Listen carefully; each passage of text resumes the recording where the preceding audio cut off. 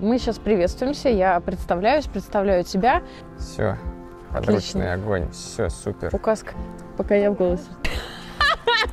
Отлично, да, давай погнали. Шок.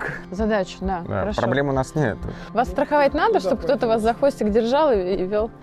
Ну, давай вот эту возьмем. Но мы стоим как дураки в этом узком пролете. Так, какой мы тут резали? Вырезал там чисто такой откровенный сушняк. Окей? Так, это сейчас у нас пробное было? Это я просто с тобой разг- э, озвучиваю, А, о чем озвучиваем план эфира, да. Просто НТВшники так делают. Тут уже продвинутый уровень, ты что?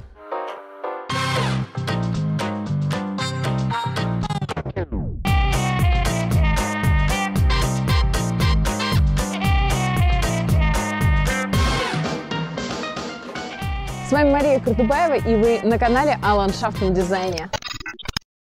Всем привет! С вами Мария Курдубаева, Алексей Соловьев.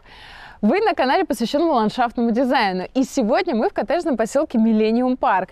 У нас с вами потрясающая аллея из липа кубы на штамбе. У нас потрясающая сформированная живая изгородь из ели. Материал посадочный немецкий, если мы говорим о липах. В прошлом году мы липы только санитарили, мы и, и формировали, мы не прорабатывали внутри кроны. А вот как прорабатывать правильно крону, что вообще такое проработка, чем она отличается от санитарной а, обрезки и для чего она просто жизненно необходима, нам расскажет легендарный Алексей Соловьев. Здравствуйте. Что-то я... Так, не смущайся, ну что ты. Ну Как, давно не снимались? Погнали. Я рада тебя видеть. Просто это то, что я подавился на кадр, это нормально? Нормально, конечно. Погнали. Так, первое. Для чего нам нужна... Так, Давай, давай, давай, давай, давай. Как тебе удобнее? Так, смотрим на эту замечательную липу. Для обывателя все хорошо, много веток, они растут вверх, ствол у нас внизу, все прекрасно. Если заглядываем вовнутрь, у нас тут множество пересекающихся внутри кроны веточек, друг друга затеняющих, много из них сухих. А, Под структурной такой проработкой внутри кроны мы подразумеваем обрезку сухих веток, вот такого плана, потому что они в тени находятся, они тут высыхают. То есть мы их, первое, что делаем, это вырезаем все сухое. Это вот у нас такая начинается санитарная такая проработка. Вы это делали в предыдущем сезоне. Либо такое растение, оно каждый год отсушивает по чуть-чуть веточек. Почему отсушивает?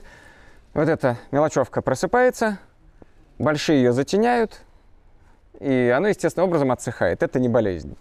То есть вот эта ветка живая, но она у нас идет аж с той стороны, и чтобы дерево более равномерно загущалось в сезон, мы эту веточку просто тут вырезаем, потому что тут уже ветки есть. Мгм. А, далее, например, вот эта веточка, тут у нас вот живая есть, с этой стороны она сюда заполняет пространство, а вот эта, кстати, она уже тоже отсохла, потому что она тут не нужна, мы ее убираем. Если бы она была живая, я бы все равно убрал, чтобы она не затеняла вот эту маленькую. А, далее у нас тут идет прям, прям по ступенчикам, как бы по, по ярусам. Смотри, раз ветка, два ветка, сюда идет веточка. Мгм. Сухие как раз вот, что в тени они высыхают, вот мы их убираем сразу. Что имеем? Раз ярус, два ярус, а тут у нас два конкурента. Какой из них можно оставить? Вот этот можно, например, оставить, а это сразу можно вырезать, потому что тут уже есть чем заполнять пространство. Далее, куда у нас смотрит вот эта веточка? Тут вот она четко из центра выходит и заполняет пространство. А вот это ее затеняет. Значит, это мы можем полностью убрать. Получается вот эта прям такая вот полочка аккуратненькая. В свою очередь ее затеняет вот это. И мы ее переводим на внешнюю почку постепенно. И идем так реально по внутри кроны, вот по каждой ветке. Затеняет, и идет куда-то получается такая высота, которая в сезон, благодаря, почкам, которые 70 лет, она затягивается. Таким образом, мы делаем ту самую структурную обрезку, формирующую вот эту проработку кроны. А, также, а, ты вот говоришь, немецкий материал, он прекрасен. Но у них там тысячи растений, как и у наших растений э, российского производства. Но все тысячи деревьев, кустарников у э, питомниководов просто физически нет возможности обрезать. Это уже задача как раз на местах э, садовников э, или профессиональных компаний по уходу. Тут вот идет мощная ветка, Мгм. вот эта. Тут у нас пустота в тени с этой стороны. Эта веточка вот выходит, так, видим. Она затеняет эту мощную, эту ветку, чтобы тут равномерно э, заполнялась листвой сезон крона, мы начинаем на боковые переводы уводить вот эти нижние мощные стволы, чтобы они не становились отдельным таким деревом внутри дерева. Берем его и убираем вот так вот на боковой. Дальше смотрим, все равно они тут как-то пересекаются, друг другу мешаются. Мы можем еще сильнее вот так вот убрать. Получается тот самый ярус свободный. Мгм. Тут веточки молоденькие есть, они зарастут. Тут веточки молоденькие есть, они зарастут. И тут, в свою очередь, мы перевели ее вот на эту более мощную, которая тут будет заполнять. Ее, в свою очередь, мы тоже можем перевести. Пусть тут заполняется новыми побегами. Постепенно идем так по всей кроне, уводя максимально ветки в горизонт все. Те, которые идут в тень, вот вовнутрь, тут, тут, то, что в сезон, э, ни клиент, э, ни садовник, вообще никто это не видит. все, что идет вовнутрь, можем э, смело, опять же, переводить на такие вот внешние почки. То, что мы между кронами вот такое пространство делаем, между двумя деревьями, это все затянется в течение сезона. То есть сейчас мы освободили, сейчас я уже прям перехожу на следующую. Мгм. Вот я ее начинаю прорабатывать, переводя на боковые. Кстати, вот ветка идет откуда-то оттуда сверху, потом со стремянки до нее можно будет дотянуться. Вот получаем вот эти вот ярусы. Вот это у нас такая вот структурная обрезка. Но при этом ты еще будешь стремиться к трапециевидной форме. А, Да, мы будем стремиться к тому, чтобы в сезон это было кубом. При этом самая важная обрезка это первая весенняя, как раз когда видно все сухое, все больное, перетертое, а, и куда какая ветка идет. Для того, чтобы меньше работать с мелочевкой по внешнему периметру, можно взять мотоножницы, поставить брусок а, или какую-то палку, или секатор длинный, и задать будущую форму сбоку. Чтобы вот эту вот каждую веточку, вот так вот ее не прорабатывать, ставим направляющую, э, выбираем ну, там какую-то точку, от которой идем, например, вот берем по внутренней части бордюра. Мгм. Сюда упираем палку. Мгм. Сейчас, Может быть, мы это покажем? да, мы сейчас это Давай это покажем. сделаем просто. Надо э, секатор взять. Ну, в данном случае направляющий это длинный секатор для Мгм. высотных работ, но он у нас будет э, вместо бруска. А мне есть- кажется, вот это вот э, не хочешь на примере этом показать, как ты будешь эту линию ловить? Если вы встанете прямо строго напротив э, кроны, потому что тут этот массив сливается, вот выбираем внутреннюю часть бордюра, упираем сюда брусок, это не обязательно должен быть секатор, и обязательно делаем наклон. Обязательно. Вот у нас получается небольшой наклон. Там прям не надо ловить на градусы, на глазок сделали. Потому что э, нижняя часть ветвей у нас открывается после обрезки. То есть если вот мы прям проходим мотоножницами под так- такую трапециевидную форму, у нас низ открывается и начинает не отставать от кроны наверху. Потому что верх у нас всегда растет быстрее у любого растения. И для ускорения, чтобы вот это все не прорабатывать мелочевку, мы берем мотоножницы и просто запиливаем по вот этой направляющей. Аккуратно. Руки. Этого достаточно или Да. сильнее? Сейчас звука не будет. М, Да ну, ладно? Забивать будет. Нет, это много, но я вижу направляющую.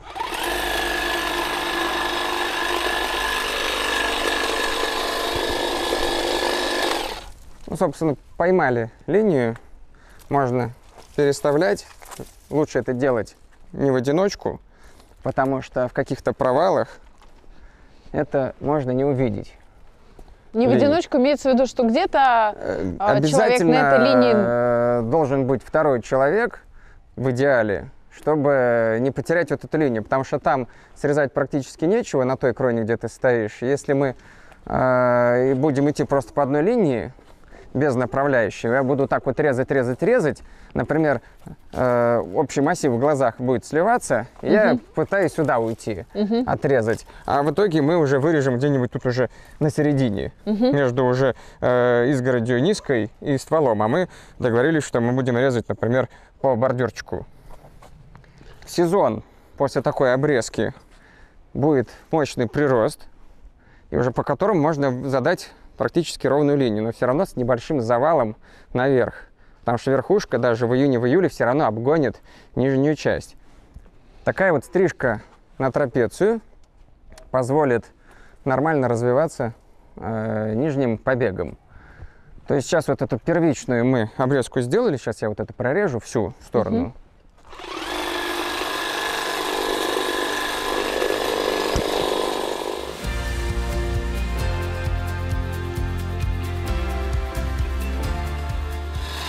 Ну, сейчас такая черновая обрезка сделана, чтобы ничего не торчало. Леша, вот я вижу просто идеальный экземпляр а, липы для того, чтобы показать, что здесь э, просто вот красной тряпкой я вижу, что нужно проработать. Есть.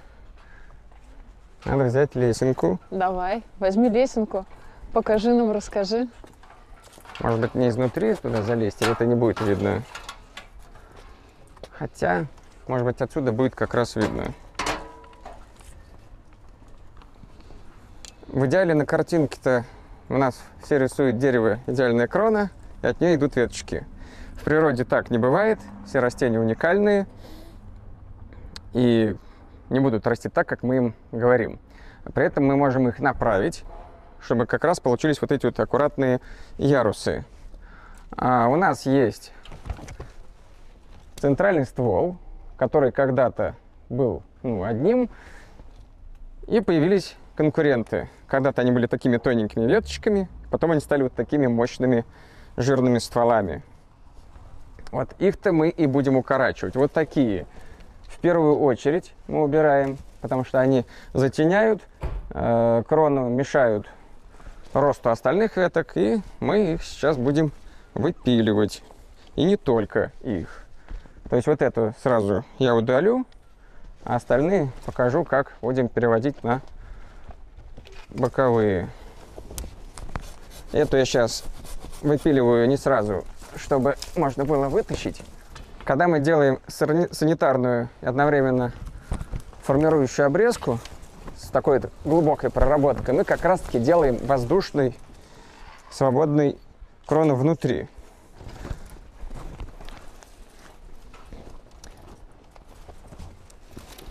Тут действительно ты хорошую липу выбрала для примера. Ну, слушай, у тебя много работы на этой липе. Я знала, куда тебя привести. То есть параллельно мы сразу убираем все сухое, которого угу. тут внутри достаточно, и начинаем постепенно выводить на горизонт вот эти вот все ярусы. Вот это я сейчас вот все, что я ломаю сухие ветки, это вообще-то уже мертвые. То есть это вот все, что как раз в тени было. Когда я сейчас эту липу почищу, тут вообще мало чего останется. То есть это я вот продолжаю резать. Вот это сейчас в первую очередь то, что я вырезаю, это все мертвые. Та самая санитарка.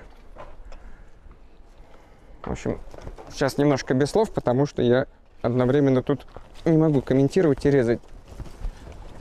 Леш, вот ты сказал, что здесь ты, ты режь, я с тобой просто буду разговаривать. Ты сказал, что для всех этих лип критично, чтобы все-таки оставался центральный ствол, центральный побег. И ты стремишься к тому, чтобы убрать всех а, конкурентов. Все досконально не получится убрать. Если получится оставить там 2-3, кстати, вот эта вся ветка у нас мертвая, вот такая вот утрата из-за того, что она была в темноте. Там, где у меня ножовка не пролезает, где уже ветки начинают друг друга упираться, потому что они у нас не срастаются, хотя бывает случай, что липа срастается. Э, там, где не подлазит э, пила, я прям дорабатываю лезвием, аккуратненько вычищая, чтобы не было таких вот лохматых ран аккуратненько спил, я дорабатываю. Он у нас получается такой вот аккуратненький. Возможно, что этот сучок тут этот, этот, отсохнет, но это тут не критично, потому что для липы, для данной это не критично. Дальше, э, пока я вот оставляю такой тоненький побег, потому что он потенциальный, вот эта тоненькая веточка, это потенциальная э, новая ветка, которая выйдет сюда.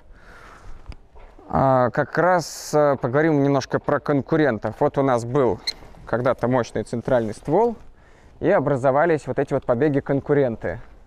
Те самые дополнительные верхушки, которые нам тут не нужны.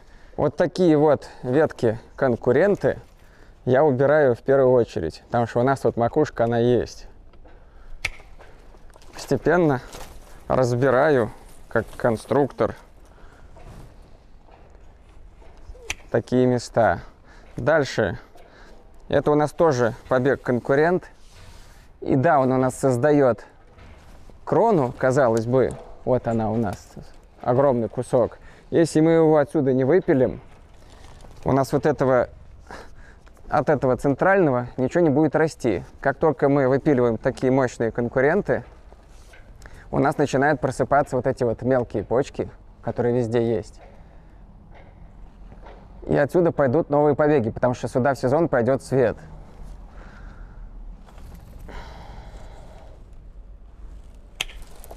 Это я сейчас в горизонт как раз начинаю переводить. Вот эту ветку можно вывести в горизонт. Леш, а спилы как-нибудь будем с тобой обрабатывать? Если дерево здоровое, если в предыдущие сезоны не было замечено каких-то грибных заболеваний, то э, просто потому что для профилактики лишний раз не надо ничего обрабатывать. Все это накапливается в почве, Э, при любой обработке. Это тут просто убрал сухой. Тут, ну, в общем, так вот будет все. Вот такие места, они сложные, потому что это тоже побег конкурент. Вот он, он мощный, так, собственно, с него и начал. Его тоже лучше сразу, несмотря на то, что тут будет дыра, его лучше сразу убрать. При этом не до конца, например, вот до сих, потому что есть шанс, что из него проснется спящая почка, и ветка пойдет отсюда сюда. То есть пока вот этот сучок я такой оставляю. Страшный, некрасивый, он пока остается. Продолжаем разбирать дальше крону. Вот у нас две ветки конкурирующие, параллельные. Надо выбрать какую-то из них одну. Так как тут я уже спил сделал, чтобы не делать большую рану, я выберу, например, да пока я вообще оставлю их обе, но при этом вот так вот их переведу, разведу в бока. Тут вот у нас такая вот лапа образовалась. Какую-то надо из них выбрать. Ее можно оставить, а вот эту как раз можно... Тут, в общем, вариаций э, множество, нет единого правила, что то, только эту веточку оставили, только эту веточку убрали. Мы делаем свободной крону, попутно вырезая вот такие вот сломанные сухие ветки. То есть вот они сухие, их множество в кроне. Сейчас дойдем до верхушки. Это вот тоже вот этот мощный побег конкурент. Чтобы сразу не делать большую рану на дереве, его можно, этот побег, перевести на вот эту боковую ветку.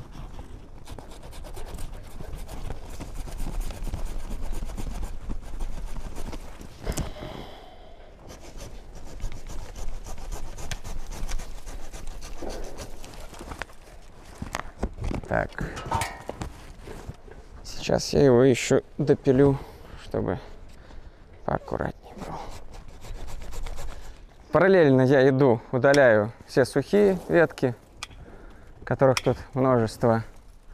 Вот тут какая-то сухая. Вот тут сучок остался. Ну, это уже такие мелочи, их не видно снизу, но мы их убираем. Верхушку я бы срезал, честно говоря, залез. В общем, я в нее залезу и покажу уже с кроны, потому что так это вот сбоку, может быть, не видно, какие убираю. Ну, попутно вот продолжаю убирать сухие которые находились в тени, они тут по естественным причинам высыхают. То, что в этом сезоне, например, вот эта ветка перетирается с этой, это не критично, это уже на будущий год. То есть вот так вот постепенно разбираем внутри крону. Эту ветку можно пока оставить, можно убрать. Вот на боковую сейчас уведу. Вот этот тоже побег, это у нас конкурент нашей верхушки, поэтому его я где-нибудь вот тут вот прищипну, оставлю такой сучок, из которого может быть проснуться почки. Не проснуться, допилим в течение лета. Продолжаю дотягиваться все, что вижу по сухим которые не потому, что липа больная засыхает, а просто потому, что им темно. Крона уже свободная.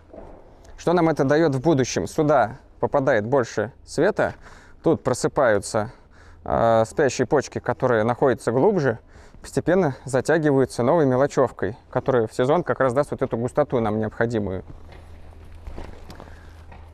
Так, тут что можно сделать? Тут можно также переводить на боковые. Тут можно вот так вот на боковые переводить. Неважно, что она мелкая. Вот, например, отсох сучок. Перевели его. Что тут у нас еще есть? Как раз сложные вот эти вот веточки. Но эту я сломал. Пока я ее прирежу аккуратненько. Эту на боковую переведу. Эту на боковую переведу. То есть у нас вот опять получился такой ярус. Что мы из этих веток оставим в следующем году, это вот мы увидим по мере э, нарастания массы. Из-за того, что очень перегущенная крона была из питомника, не потому что он плохой, а потому что они так тщательно э, не прорабатывают, как мы, э, уже конечные пользователи этих деревьев, э, как отсыхают достаточно крупные побеги. Вот, например, э, тут посадка плотная, вот эта ветка, она вся сухая. То есть вот от сих, надо проверить, где тут засохло. Вот это все сухое, прямо руками ломается. Сейчас я посмотрю, насколько она тут отсохла. Вот это вот полностью. Вот такой вот побег мы вырезаем. И да, жалко, но он уже высох. Если мы это в первые э, годы после посадки не сделаем, потом будет выпада еще больше. Вот это, кстати, тоже ветка. То есть ее тут начали чистить, а она у нас мертвая. Так, вот такие жирные вот выламываем прям. Так, она у нас частично живая, поэтому я ее так вот прирежу. Там, там живая. Вот это вот мертвая. Так, оставим эту липу помощником и покажем промежуточный вариант, что получается по липам, которые уже режем некоторое время. Вот у нас как раз наглядно показываем, демонстрируем, видите, а, эти липы а, были в том же самом состоянии, как та, исходная. Их а, сегодня частично уже проработали, мы видим с вами, какое количество у нас остатков. И в основном это были вот такие вот мелкие сухие веточки, то есть, то есть ничего живого практически не срезалось. Вот эта липа уже у нас прорезана. И казалось бы, все, о чем я говорю, воздушная, свободная, крона.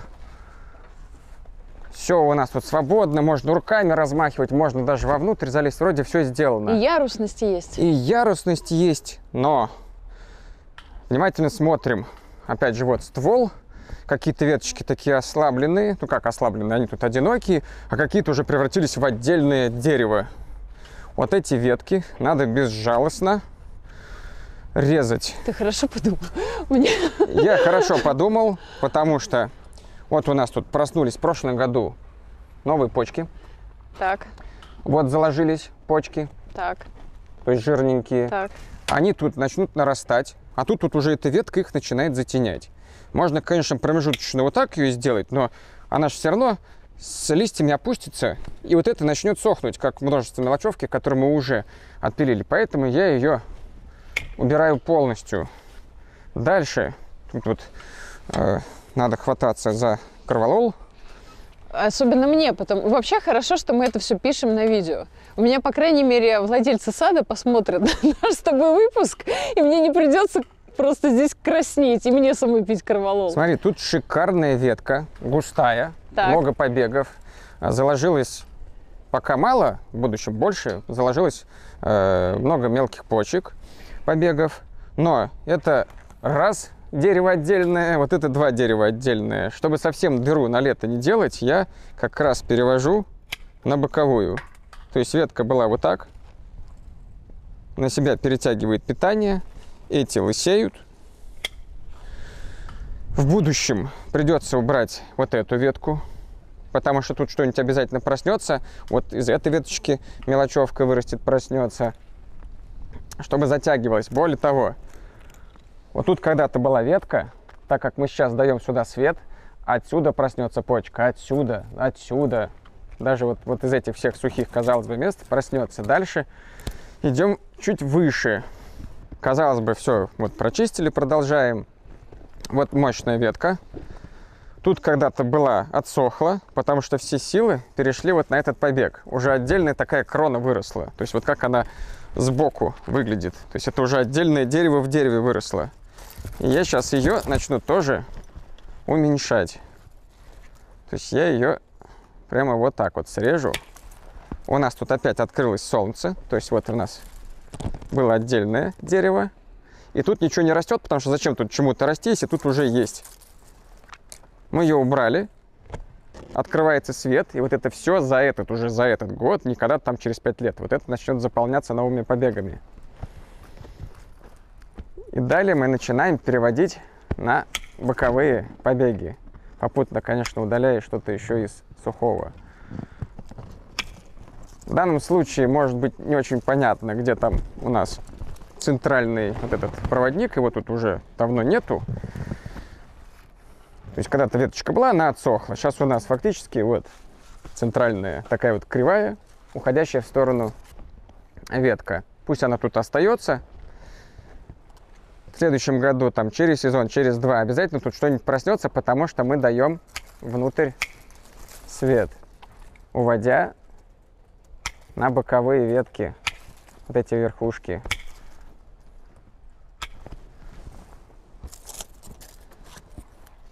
Так. Вот у нас повреждение, даже кора отошла. Липа дерево живучее, поэтому кору эту мертвую я могу подрезать.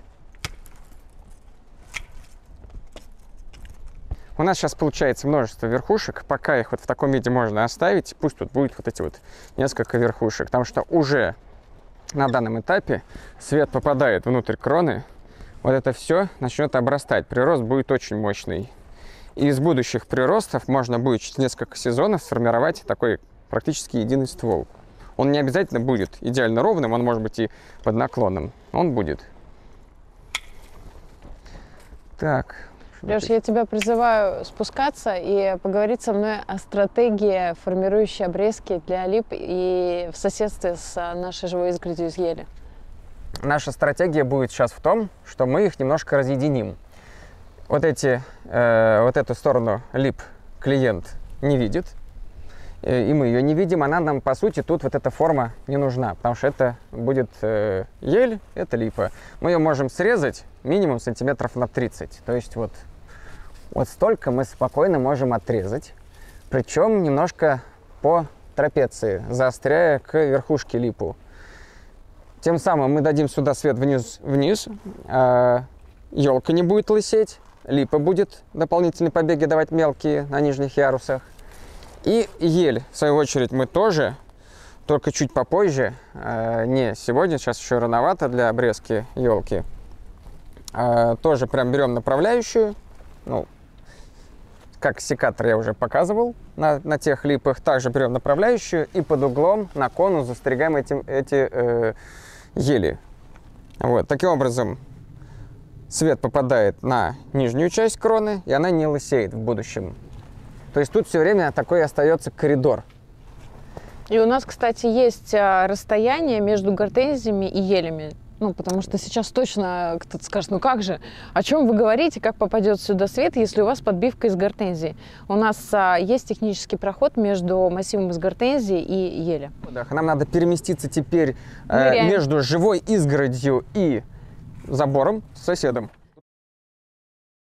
Так, мы и заходим вместе... в проход. Выползаем. Секретный проход. Технический. Так, что мы тут видим? Забор соседа, живую изгородь. Огромное спасибо Марии за то, что она оставила большое пространство между забором и живой изгородью, потому что так будет удобно ее обслуживать. Не как Кристи Крабс, вот это вот. Да, потому что боком тут просто не проползти. И соседи тоже, ребята, молодцы, они оставили запас для своей живой изгороди. Вот. Что нам это дает? Что елка, что туя у нас разрастаются. Если мы их не будем стричь, буквально за 2-3 года они сюда дорастут до забора. С той стороны мы их стрижем, а дерево куда будет расти? Там, где ему не мешают. Там мы их все время подрезаем, тут им никто не мешает, они врастают в этот забор. Тут у нас получается такой дремучий лес. Сохнет, болеет, заводятся не только полезные птички с гнездами, а просто начинает все гнить. И, и сколько... при этом там это все будет э, А там это все будет лысеть, потому да. что весь свет тут, а типа почему? Потому что тут вот все заросло. А, тут у нас проход этот технически есть, но мы его еще чуть расширим. Также возьмем направляющую и снизу вверх на трапецию зарежем. То есть снизу практически не тронем, а сверху нам придется отрезать там до там, сантиметров так, так 10-15. То есть вот реально прям берем палку, направляющую, ну нету кривую, а секатор или брусок, и зарезаем на конус. Таким образом, больше света попадает, нижняя часть и с этой стороны не лысеет, э, юбка у ели или у любой другой живой изгороди. С той стороны мы также стрижем на конус и равномерно, э, при этом утолщается ствол, и при этом равномерно зеленая изгородь снизу и доверху. Так. Леш, такой бывает иногда вопрос от а, зрителей, а что вы будете делать с этой живой изгородью, когда а, здесь у этих елей вот такие вот стволы, вот такие вот стволы образуются? Постоянная стрижка даже раз в сезон замедляет рост в том числе и корневой, и в том числе и ствол не так быстро утолщается, как в природе, когда мы не мешаем. Когда они у нас станут как фонарные столбы, это нам не помешает, потому что хотя бы раз там в 2-3 года, там, ну ладно, не в 2-3 года, это часто, раз там лет в 5-6, э, всего лишь придется прорезать, как и в липах, сделать санитарную обрезку, формирующую такую структурную внутри елок. Так что, э, да, пусть утолщаются. Э, наша задача, чтобы постоянно образовывались новые побеги и загущали э, изгородь. Поэтому ничего страшного не будет. Но при этом э, очень важно отметить, да, что Алексей сравнил э, ствол ну, в перспективе с фонарным столбом. Не вот с таким вот э, деревом в обхвате, да, потому что, ну, вот такого ствола, такого ствола мы никогда не получим, сдерживая эту живую изгородь на высоте порядка там трех, даже четырех метров. Э, мы вот такой вот ствол не получим никогда. И ты сейчас очень важную вещь сказал про то, что регулярная стрижка а, ограничивает в том числе и корректирует а, рост корневой системы. А, очень часто слышу вопрос, как вы могли так близко посадить ель к дому, ведь она своими корнями разрушит фундамент дома. Что ты скажешь на это? Мы не доживем. Когда она корнями под э, двумя-тремя слоями бетона дойдет до фундамента дома. А ты вообще в это веришь? Что при том, как мы ее будем э, жестко сдерживать, она корнями сильными, мощными, а, большими сможет вообще дойти. Вообще, ей видел, туда зачем? Вопрос. Видел варианты, когда дуб, просто свободно растущий, которому никто не мешает, с кроной метров так под 15 и со стволом там в обхвате руками не обхватить, да, поднимает асфальт с бетоном. Такое я видел. Ну, то есть лет через 250-300 у нас дорожки пострадают, придется переделывать. По гарантии. Леша шутит. Э, на самом деле речь же о свободно растущем дубе была, да, когда мы сдержим постоянно такой формовкой ель, э, и мы не получим высокие э, растения с большой парусностью, это значит, что дереву нет смысла тратить силы на сильное укоренение. Корневая будет сдерживаться стрижкой, то есть дереву не, не потребуется огромной кроны, потому что у него, ну, в смысле, дереву не потребуется широкой большой э, корневой системы, потому что у него достаточно компактная крона. И иногда нужно, наоборот, отпустить изгородь э, в стороны, если она ну, не граничит с какими заборами. Э, например, если очень сильно зарезать там ту же липу э, в живой изгороди, в какой-то момент будет вот очень толстый ствол, а можно будет к нему подойти, она будет шататься, как палочка. Потому что мы все время режем ветки, и она все время работает только на восстановление кроны, а корневая не разрастается. В данном случае как раз надо немножко дать э, отпустить крону, чтобы разрослась корневая. Mm-hmm. Здорово. Вот видите, в общем, а, если коротко, растения очень умные. Они не будут а, тратить напрасно свои силы. Просто потому, что мы так думаем, или у нас есть такой стереотип, нет. А, То, что они переплетутся под землей с соседскими туями, ну, пусть переплетаются, они как-нибудь, думаю, это решат вопрос. А надо будет, и что ель, что липа в этом плане очень удобные растения, их можно будет достаточно сильно в будущем зарезать. Ну, например, там, 5 лет не было ухода, елка вот сюда выросла, можно спокойно приехать будет через 5 лет и эти вот полметра отрезать. Да, она будет лысая, и через сезон заложатся новые почки, и она тут через пару лет также восстановится. И в этом плане, что липа, что ель, удачное решение. Я предлагаю вернуться к вопросу. Ты обещала крону подровнять у липы и а... показать сверху, как это будет.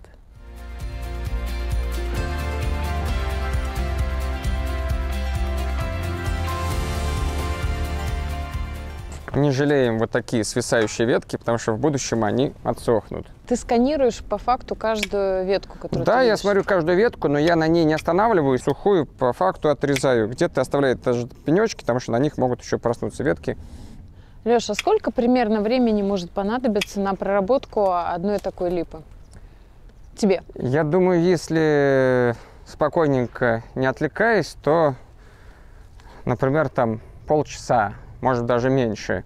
А липы более взрослые могут потребовать каждые там 40-50 минут. Если это там уже 50-60 лет огромные кубы, и их никогда там лет 10, например, не э, прорабатывали внутри, а только вот забревали снаружи, на каждую может уйти там и полтора часа. Ну, все зависит от размера дерева. Тут вот, если не отвлекаться, можно достаточно э, быстро сделать. Я не буду тебя отвлекать. И теперь можно на таймлапсе поставить. И, и Леша так тын тын тын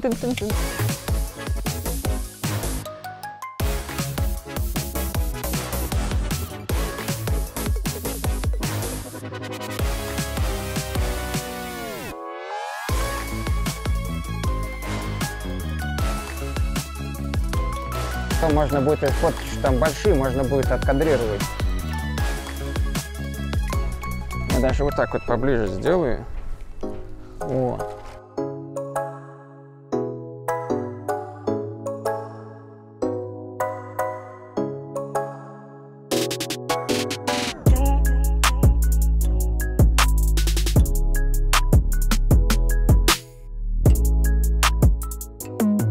Предварительно э, бригада прочистила несколько лип. Я залез уже более детально проработал а, сколько? Вот ты спрашивала, сколько уходит на одно дерево. Грубо на это дерево уходит минут 15-20, пока вот оно такое молоденькое. И если в первые же годы после посадки, там, на второй-третий год после посадки начинать такую формировку, проработку, то в будущем будет уходить гораздо меньше времени. То есть не надо запускать э, вот эти вот посадки на там 5-6 лет, э, застригая их только с, ну, по периметру сверху, а, потому что потом будет сложнее. Сейчас все свободно. Когда ствол окрепнет, можно будет сюда с обычной стремянкой залезать, прям вот становиться ногами в крону, спокойненько тут стоять, когда будет покрепче, и уже спокойненько тут все прорезать. Если сейчас вот такие вот липы запустить на 10 лет вперед, и не трогать их, и только резать сверху, вот так вот нам не получится залезть, и будет как вот с той липой первой, которую резали э, для примера, которая еще не тронутая. Она, И- кстати, более запущенная, чем эта. И ты еще сказал, что когда садовник наверх а, забирается на стремянку, Да, когда сверху человек забирается именно э, внутрь кроны и смотрит на нее сверху, и еще лучше видны вот эти вот ярусы. Снизу э, из-за тени, из-за там солнца, освещения, неважно, мы этого не видим. А когда мы сверху, мы уже начинаем видеть вот эти вот веточки, они как по полочкам разложены. И сверху можно отрезать еще то, что снизу нам казалось, что нужно оставить. Ну, например, вот этот сучок я э, снизу не видел, тут была ветка мощная. Мгм. И я ее прирезал, оставил вот такой сучок.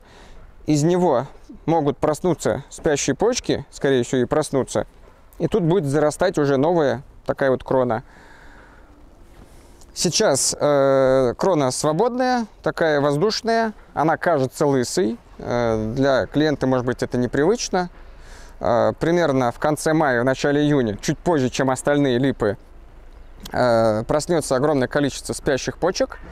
За счет э, попадающего сюда солнечного света начнет нарастать вот эта мелочевка и загущаться крона, из которой в будущем можно будет как раз летом застригать уже такую жирную монолитную э, крону. Смотри, получается, в этот раз мы проработали внутри крону, плюс Внутри, мы сделали снаружи, санитарку. по высоте еще Ну, сделаем да, финал. мы сегодня мы тоже это все формуем а, по периметру, высота, полностью все грани, ну, кроме тех, которые там срастаются, да, то есть мы их не формируем, мы их именно ам, прорабатываем, да. И следующая стрижка фо- формовочная у нас будет, а, получается, в каком месяце? А, Так как мы сейчас срезали большую массу, а, почек у нас осталось не так много, нетронутых. Кстати, тут еще отрежу. А, Почек у нас осталось немного. Они, эти почки, как и все липы, проснутся вовремя. Ну, например, там конец апреля, там начало мая, так как по погоде будет. А, те места, которые у нас пустые, с, с большими срезами, а, почки тут начнут э, просыпаться где-то с начала-середины июня. То есть вот этот массовый прирост будет где-то июнь-июль. Мгм. И в июле мы уже приходим со стремянками, с мотоножницами и застригаем уже по свежему приросту, оставляя небольшой такой, ну, там, не застригаем прямо ровно срез в срез, как мы сделали весной. а От, ну, от него, э, например, выстрелила веточка там на 15 сантиметров, оставляем 5-10 сантиметров. Потому что если мы начнем застригать вровень, я вот на примере этой ветки покажу, если мы начнем мотоножницами э, в течение сезона стричь все время по одной и той же точке, ну, например, вот машинками прошлись, у нас начнет закладываться огромное количество в этом месте почек, и получим тот самый поллард, когда при обрезке на одной точке каждый год э, закладывается большое количество почек. И получается все силы дерево будет тратить только на эти почки, они будут сверху пушистые, там массу давать, а снизу зачем, если у него вся листва и тысячи почек все наверху. Поэтому, э, когда стрижем, чуть-чуть отступаем. Ну, например, вот сейчас вот у нас вот так, допустим, вот эта вот верхушка ровненькая. Не надо застригать ее прям вровень. Отросло, день тут прирезать. Лучше в следующем году или через там пару сезонов там полностью обновить эту ветку на новую, э, там свежую, жирную перевести вот веточку такой побег. И у нас каждый год, э, получается, будет оставаться множество таких вот одиноких веточек, которые будут равномерно давать нам картинку вот этой пушистой кроны. К этому стремимся. Спасибо Чтобы тебе внутри огромное. было все пусто практически, а снаружи множество вот этих мелких побегов.